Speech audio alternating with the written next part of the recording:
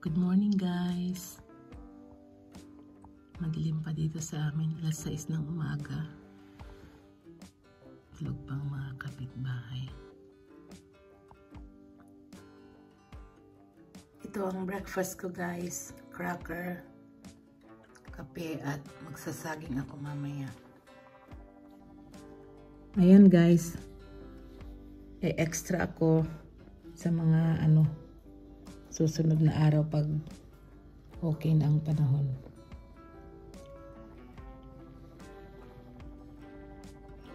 Naging kagubatan na ang garden namin.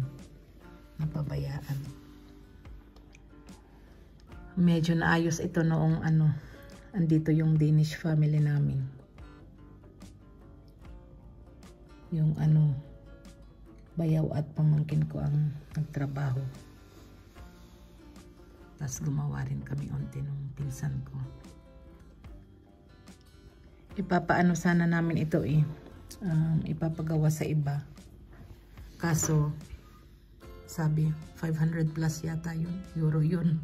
Eh, magkano na yan sa Pinas, no? Pero okay lang sana kung meron. Kaso wala. Hindi namin kaya. Walang budget para dyan. Nagulat ako. Sobrang mahal naman kako. Kasi yung ginawa ko sa harapan noon, more than, ano, more than half year or yeah. More than ano half year yata talaga bago nakaramdam ng ano medyo maganda-ganda to ano kamay ko. Dahil ako ang gumawa dun. Sobrang kirot. Masakit kasi ang mga kamay ko lalo na tong left hand ko abnormal. Hindi na naibalik yung broken noon.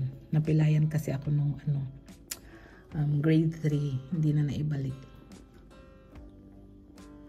pero dahil walang pambayad walang pang-upa sa tao tsaka hindi na kaya ni daddy yung mga yan uunti-untiin ko na lang kami ni Kun. Okay guys ang dami ko nang nasabi. Thank you for listening and thank you for watching. Bye. Ayan pala yung ano namin um, parasol.